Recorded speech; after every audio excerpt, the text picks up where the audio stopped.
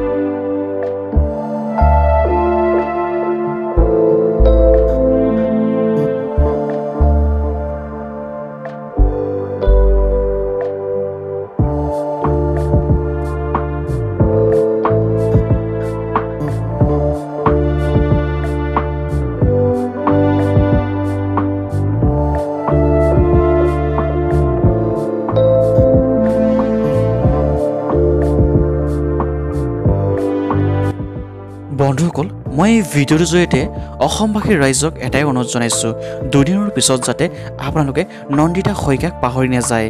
নন্দিতা শইকীয়া আৰু তেখেতৰ পৰিয়ালে যাতে ন্যায় পায় তাৰ বাবে আমি সকলোৱে একেলগে ওলাই আহিব লাগিব।